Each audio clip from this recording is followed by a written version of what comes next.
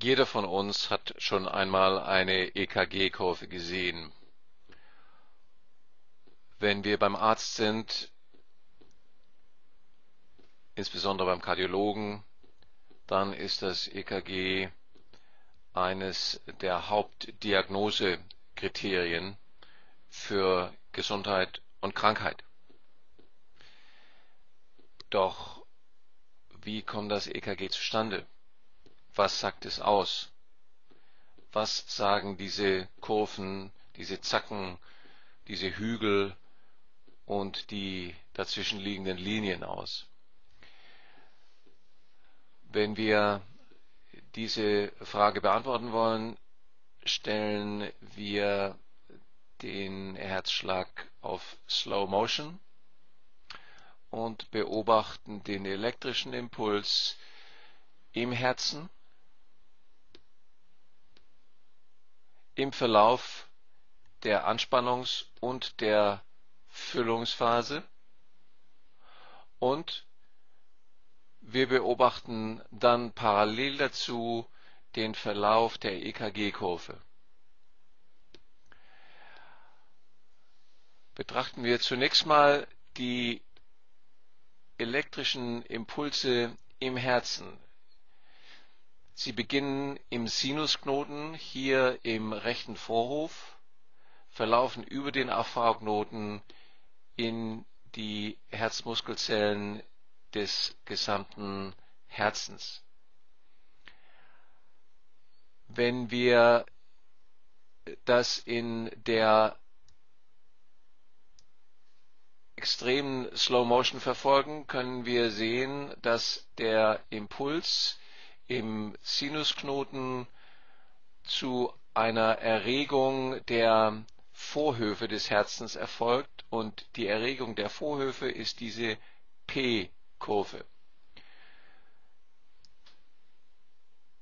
P Vorhof.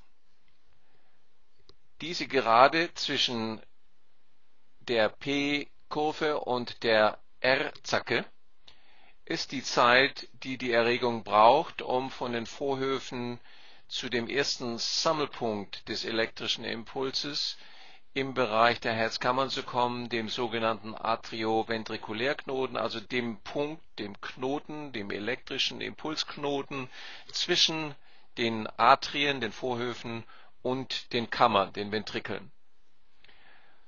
Wenn wir die Herzfunktion weiter bewegen, dann sehen Sie, dass wir jetzt den Impuls genau an diesem Knoten verfolgen können und er erreicht jetzt die Kammerscheidewand und ist dabei, die gesamte Kammer zu erregen. Und genau das ist der Moment, wo wir im EKG den höchsten Ausschlag bekommen.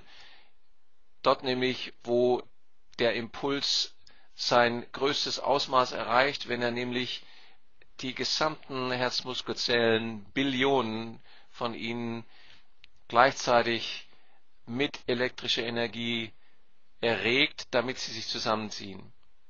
Wenn wir den Impuls dann weiterverfolgen, bildet sich die Erregung aus und nach Vollendung der Auswurfphase, also nach Vollendung der Pumpfunktion des Herzens, kommt es zur Rückbildung dieses Impulses und genau das ist die T-Welle, also eine Rückbildungswelle dieser, wie man in der Fachsprache sagen würde, dieser depolarisierten Herzmuskelzellen hin zu einer Repolarisierung, also hin zu einem Normalzustand.